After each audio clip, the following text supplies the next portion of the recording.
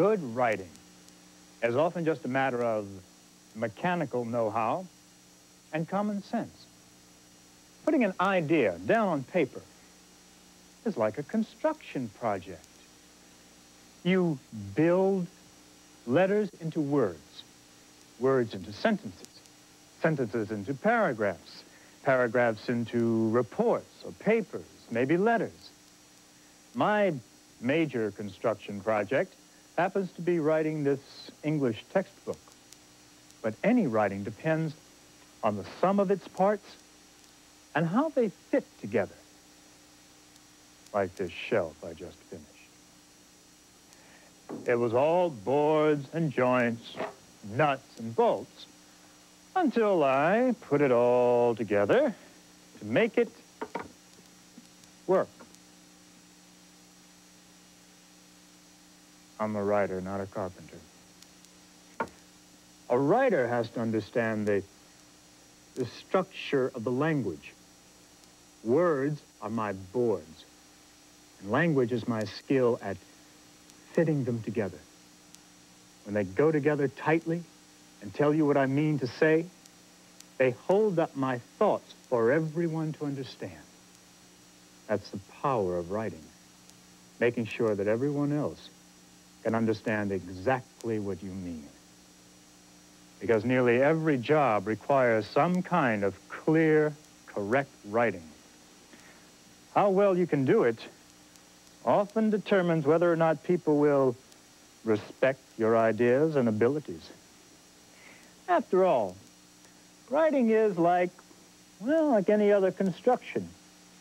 If one element is weak, a whole business can fall apart on you.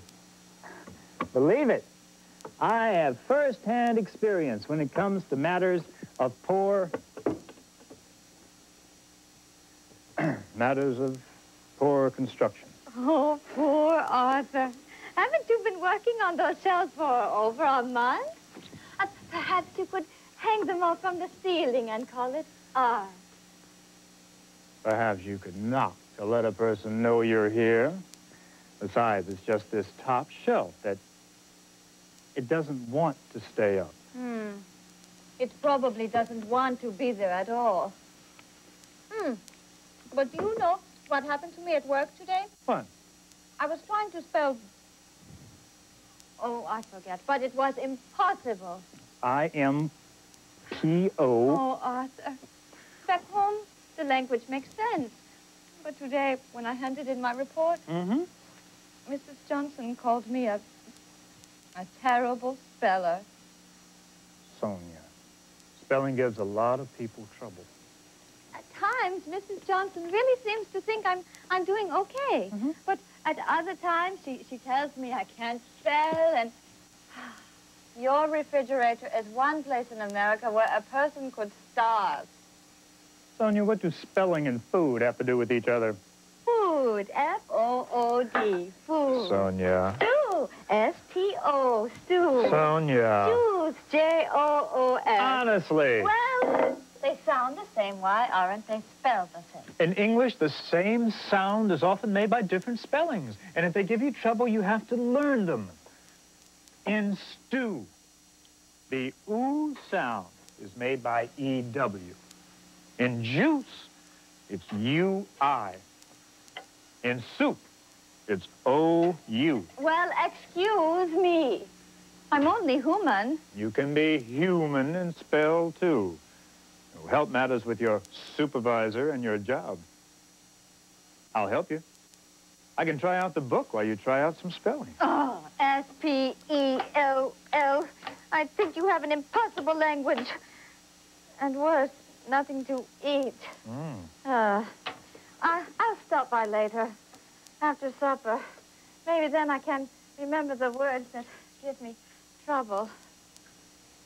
Good. Just don't bring the whole dictionary. Ha, ha, ha. Ah, maybe I'll bring you some glue, yes? For yourself? Is that G-L-O-O glue? No, that's G-L-U-E glue. Sonia is learning this language, but you're still having a few spelling problems.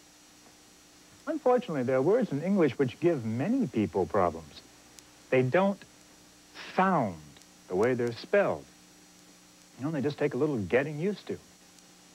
When you're trying to learn a particular word, notice the trouble spots. Any odd or unlikely combinations of letters. Close your eyes and try to see the word in your mind. Pronounce it distinctly. Then try to write it from memory. If you're still uncomfortable with the word, write it again. They call this the see, say, write method. Uh, for instance, onion, right? Onion. O-N-I-O-N. Onion. Now, there's some standards you can count on. Rules that make it easier to spell most words. I'm trying to explain them in this book I'm writing, in the chapter on spelling. For instance, how to form plurals. Oh, um, book, books is pretty straightforward for most nouns. To indicate more than one person, place, or thing, just add S. You see, desk, desks. Word, words. Parrot, parrots. Uh, however, we do have to watch for some exceptions.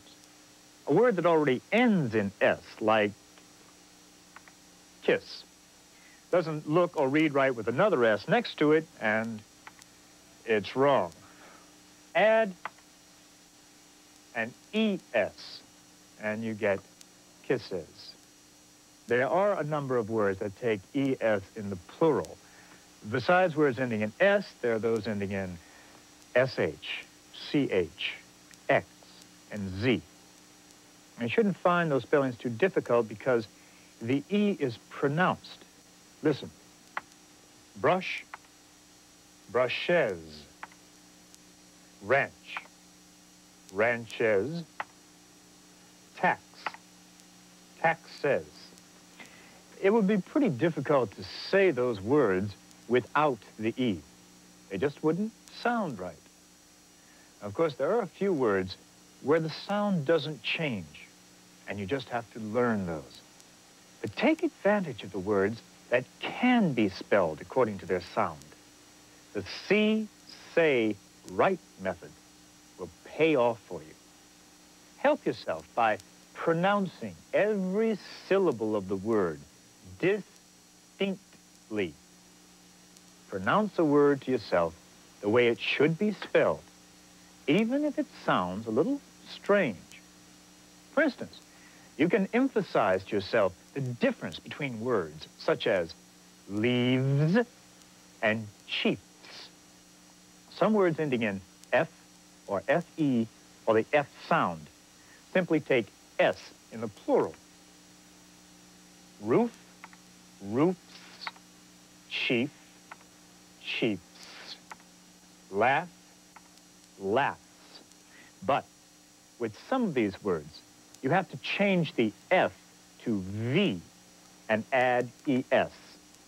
Life, lives, leaf, leaves, knife, knives. You can usually tell which is which by the way a word is pronounced. There's a list of such words in your workbook. Remember to pronounce those spelled with F differently from those spelled with V. Unfortunately, there are some words which are not spelled the way they sound when you change them to the plural. But there is help. Some simple rules will guide you. I've been collecting them for my book. Take words ending in O, for example. When the O follows a vowel or vowel sound, as in embryo, you add only an S to form the plural. Look at radio and rodeo. The O comes after a vowel. We only add S. But when the O follows a consonant, as in potato, tomato, hero, you often add ES. Potatoes, tomatoes, heroes. But for some words that end in an O following a consonant, you only add S, such as Eskimos, pianos, altos. You'd better look at the list in your workbook, visualize the words in your mind, and write them down. You'll be surprised at how many you remember.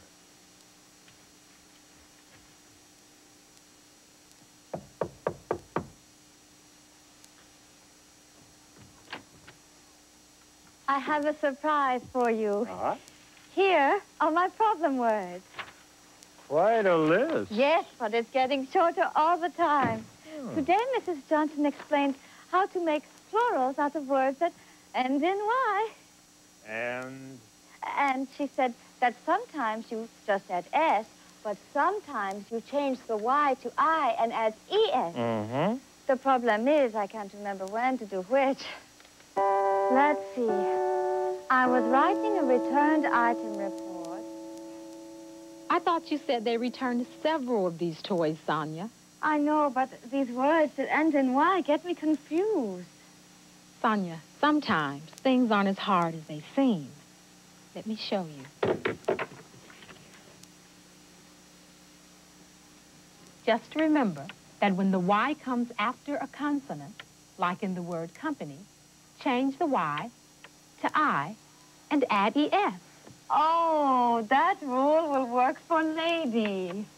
I can change the Y to I and add ES because it follows the D and that's a consonant. Ah, but that won't work for the toys. You have a vowel there. That's easier. Just add an S? Right. Oh, T-O-Y-S. I like vowels. They're easier. With a vowel, just add the S. Sonia, you're getting better at this. Mrs. Johnson was right.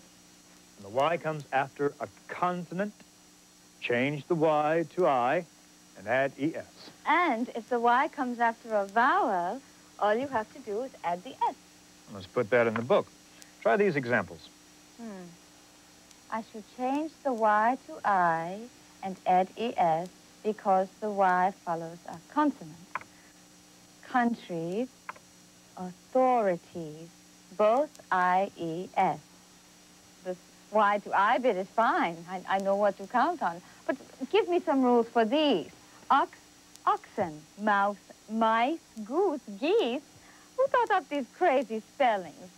Louses, They call them lice. Ooh. Sonia doesn't understand that the English language has been changing and evolving for more than five centuries. Nobody planned it. It just happened. So we've got to make the best of it. Once you take a good long look at a list of irregular plurals, using the see, say, write method we've discussed, you'll get them down. Oh, you may also want to notice those words that have the same spelling in the singular and the plural. One deer, ten deer. One sheep, one hundred sheep.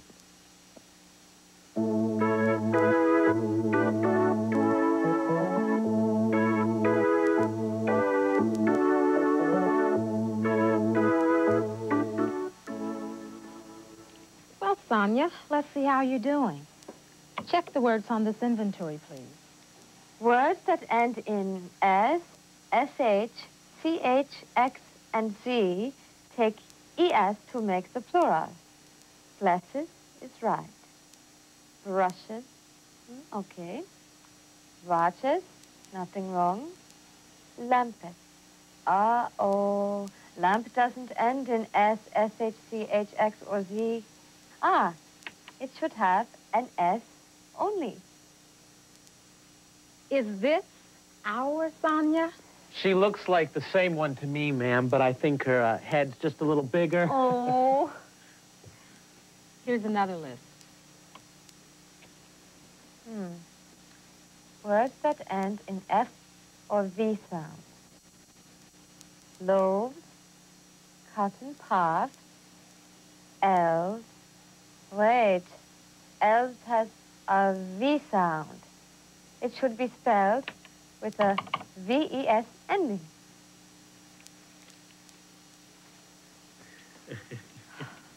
Some reward.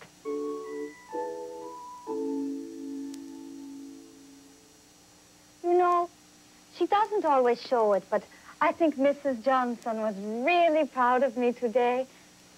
And she could help me get a job paying more money. Maybe with a title. Vice President Sonia Pavlovich, huh? Ooh. well, maybe next year. Oh, it does sound nice, though. Ah, Shakespeare said, be not afraid of greatness. Some are born great, some achieve greatness. Ah, not without effort and practice. Look at these words. Which is incorrect? Did Shakespeare ever say anything about a heartless slave driver? All right. Hmm, If a word ends in O following a vowel, add S to make it plural. If the O follows a consonant, usually add ES. Mm-hmm. In heroes, the O follows a consonant. Huh, it's spelled right. It takes ES.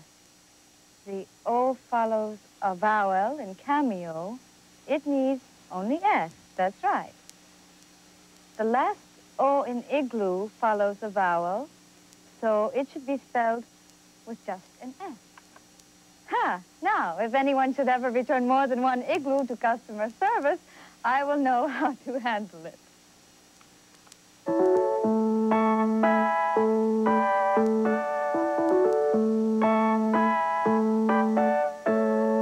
Young woman, are you paid to sit there and do nothing?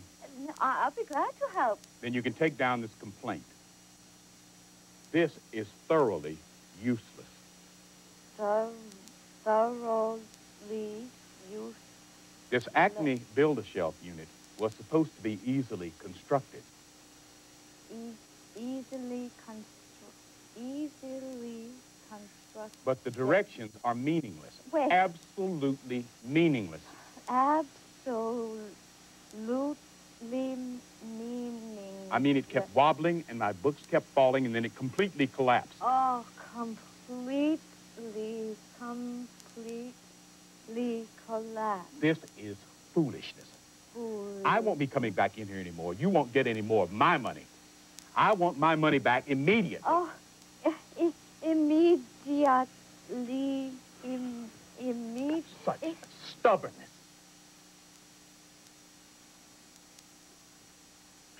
What was that all about?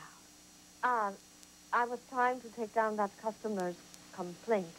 What was the problem this time? Well, for one thing, he kept using these words that ended in L-Y, L-E-S-S, and N-E-S-S. Uh, Let's see what you have here. Oh, I see what you mean about your suffixes. my what? Word endings. Let's forget about this for a while and take a look at this.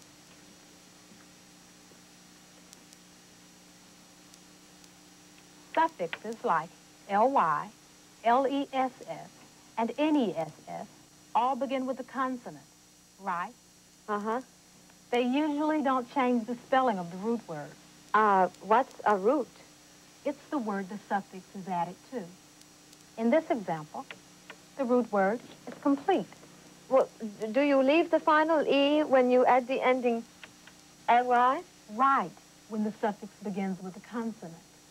Oh, then immediate is the same. And it needs to keep the final E and add L-Y. You don't change the original spelling of stubborn. So stubbornness should have two N's, right? Yes. Oh, ah, wait a minute. That doesn't look right. Is it that Y changes to I business again? You're catching on. Huh? Easily done. How about wobbling? Hmm. Wobbling. Doesn't sound right. If the E is silent and you add a suffix that begins with a vowel like ing, you drop the silent E. Oh, that will work for use also. I drop the E when adding ing. Right. But what if you were making use full instead of using? Hmm. Well, I guess I should keep the E since the full begins with a consonant. Too many L's. It isn't like the word full when you use it as a suffix. Okay, okay, what?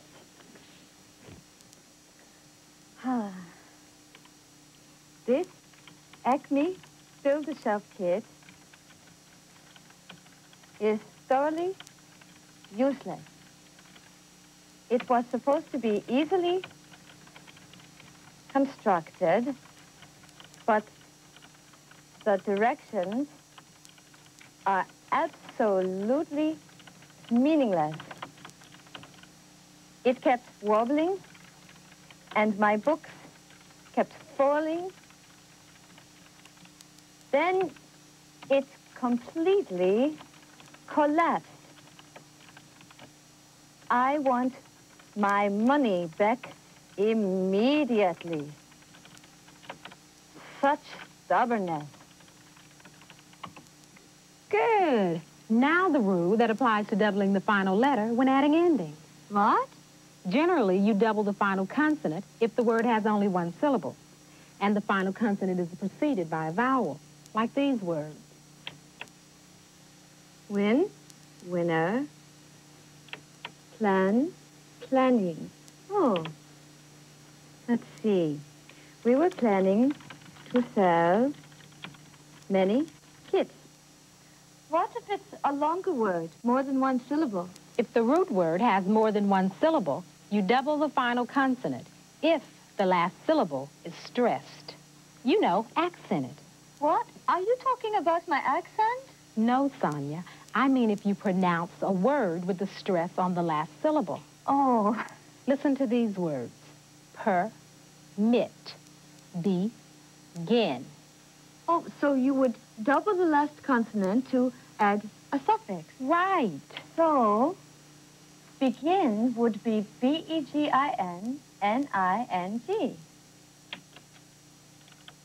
We are beginning to receive complaints. Yes. What about the word offer? Hmm. Offer. No, the first syllable is stressed. Here, offer. So, offering or offered would have only one R. We are offering the customers a refund. And when in doubt? Look it up in the dictionary. Arthur, hmm. Mrs. Johnson and I talked about how you put a suffix onto a word without screwing up the spelling. You're learning that grammar is an ongoing process of building parts of speech into effectively written expression. Words themselves are built from root, suffixes, and prefixes. Wait, what was that prefixes?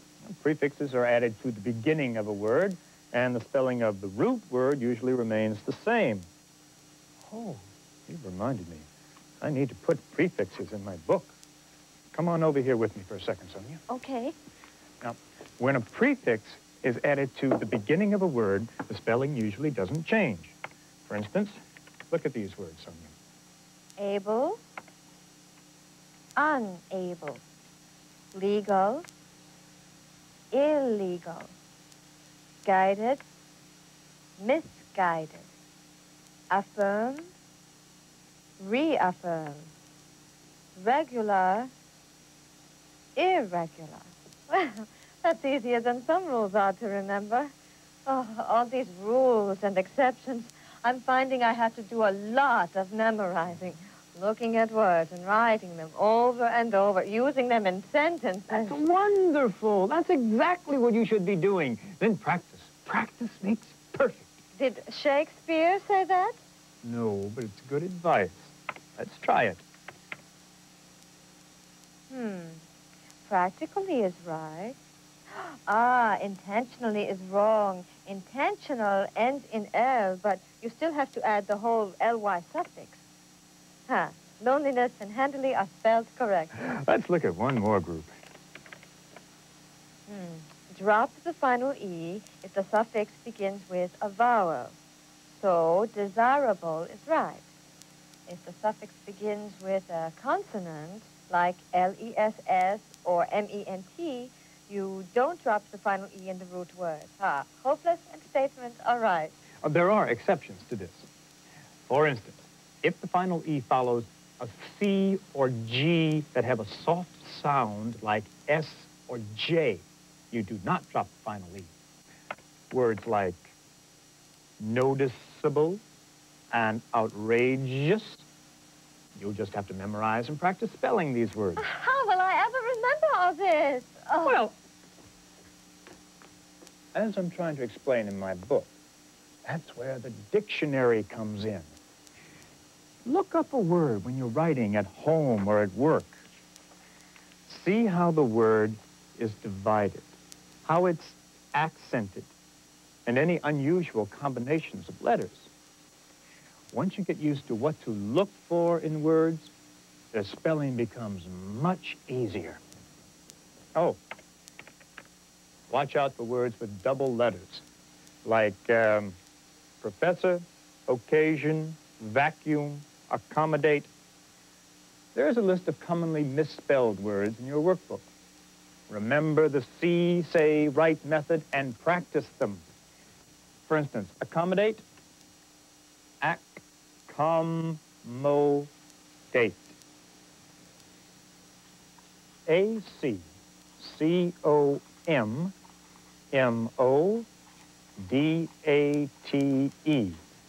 Accommodate and get acquainted with that dictionary. Should be a good start for you and your writing.